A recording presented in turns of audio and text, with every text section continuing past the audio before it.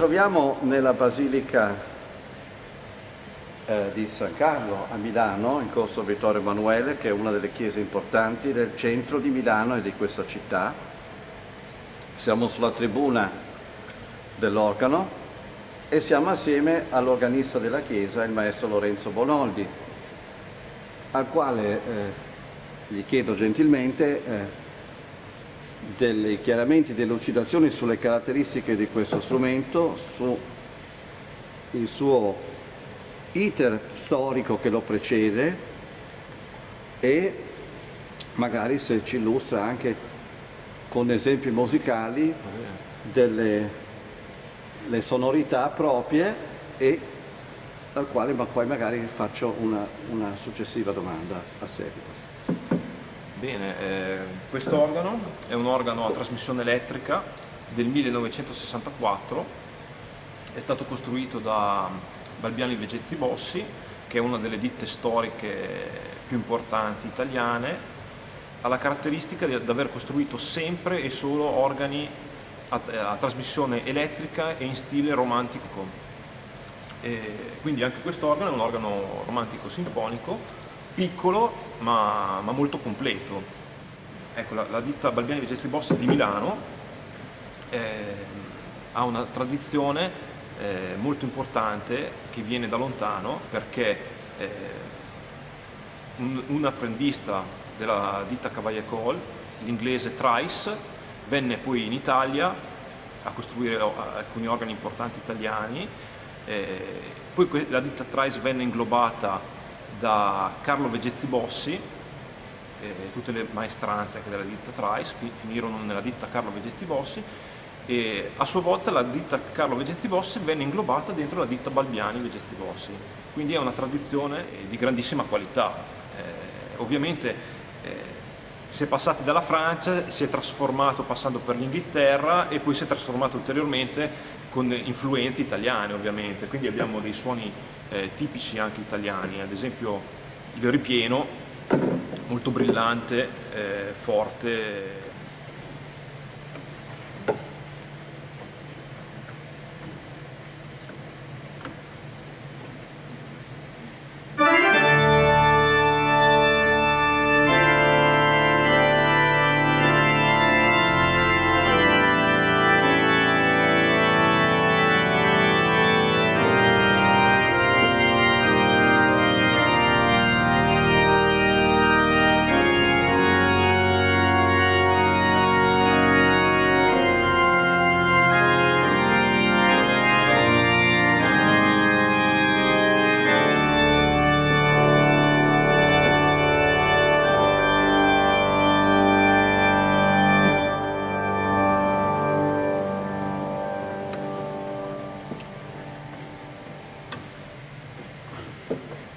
suono tipico eh, dell'organo romantico italiano eh, sono eh, le viole, i registri di gamba, viola, e abbiamo la voce celeste, dolce, eh, un po' in stile tedesco,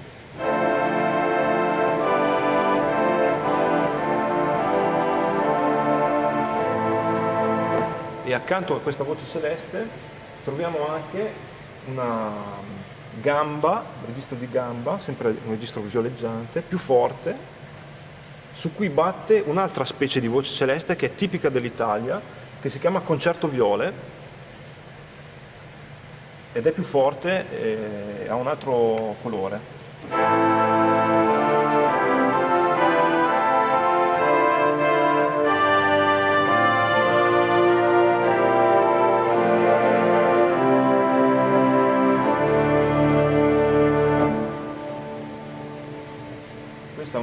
Specialità italiana, e, mettendo insieme la voce celeste e il concerto viole abbiamo questa sonorità.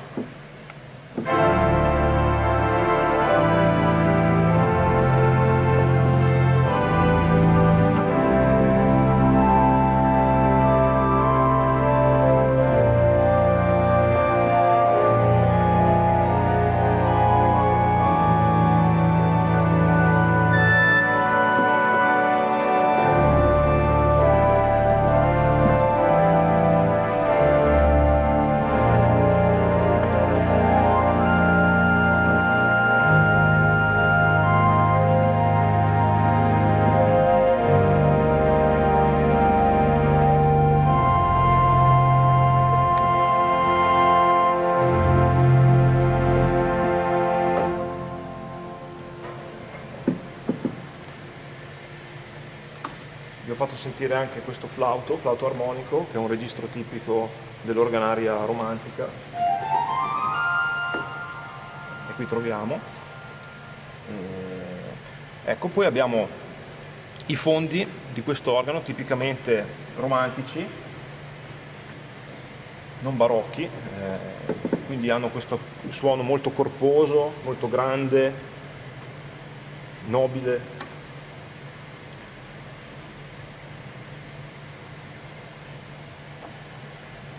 Faccio sentire una, un crescendo.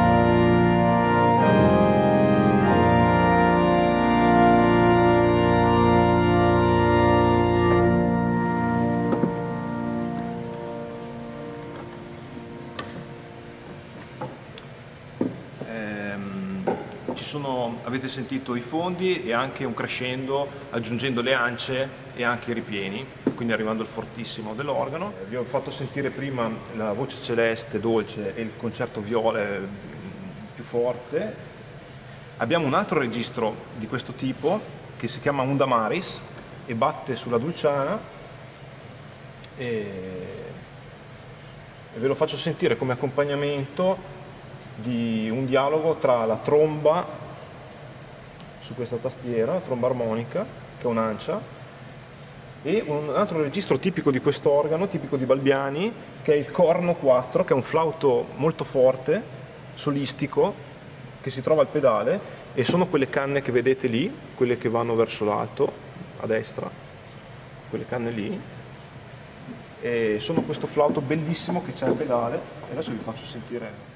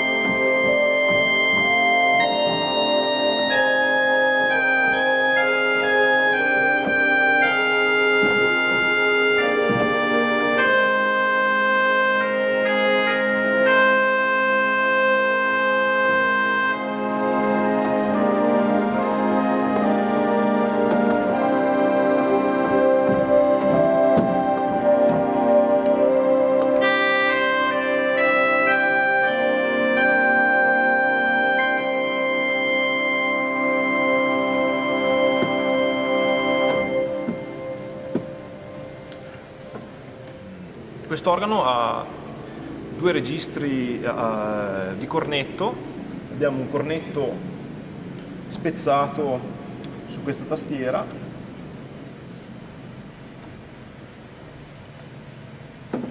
E una sesquialtera sul, sul grandorgano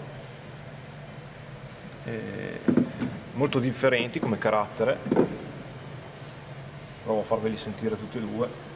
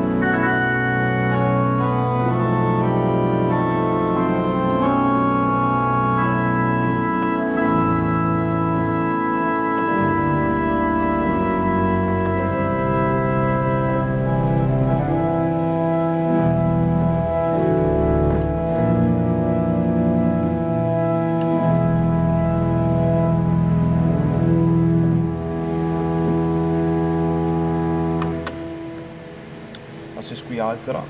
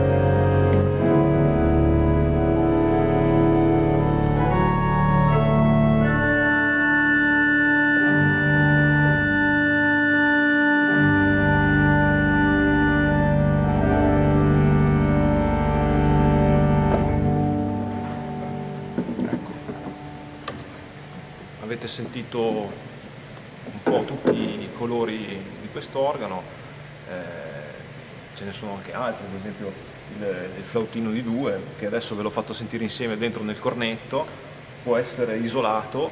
Eh,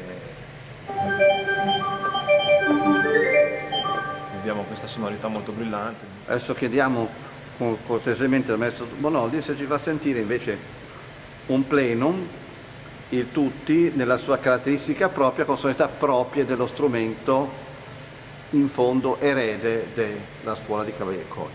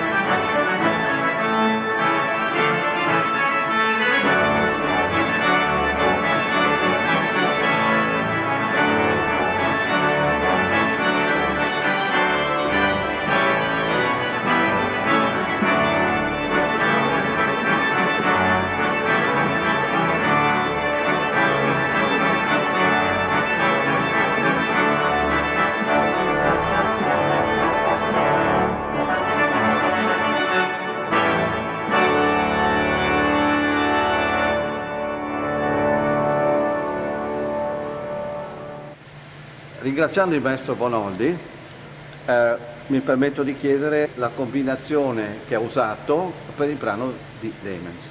Ho usato questa mia combinazione eh, che prevede tutti i fondi, anche le viole.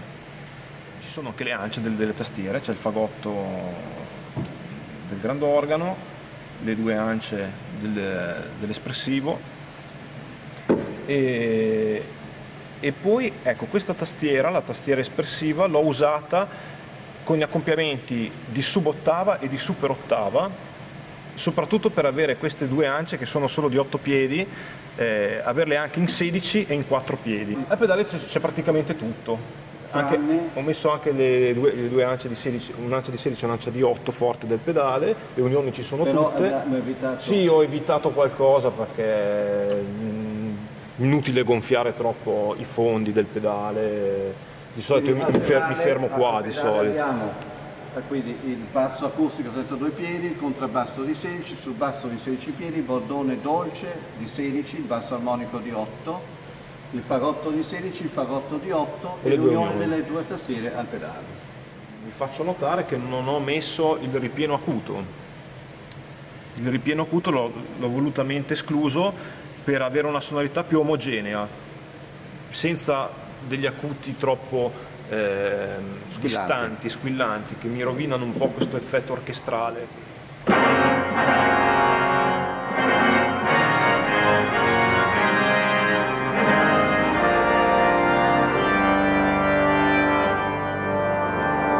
Risulta molto omogenea come sonorità, un fortissimo eh, senza eccessi acuti.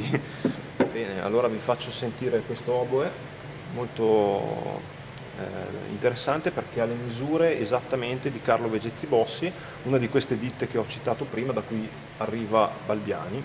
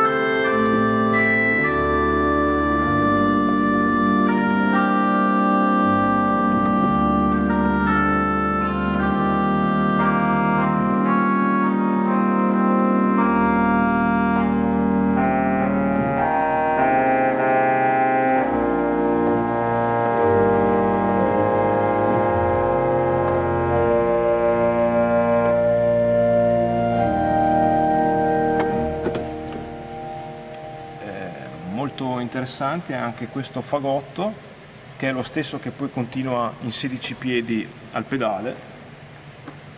Questo.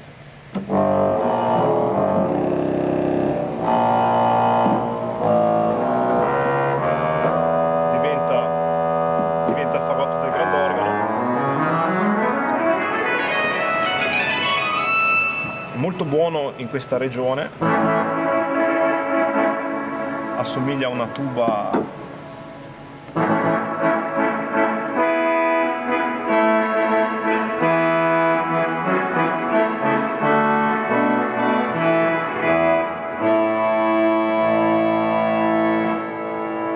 Il fagotto di 8 piedi al pedale è, è lo stesso, stesso è lo stesso. Quindi è una trasmissione. Diciamo. Eh, quest'organo poi ha una terza ancia che è la tromba armonica del, dell'espressivo molto molto utile. Ad esempio faccio sentire una fanfara. Io la uso molto spesso con la super ottava in modo che così eh, ho una tromba armonica 8 e un clairon armonico 4 e ottengo questo effetto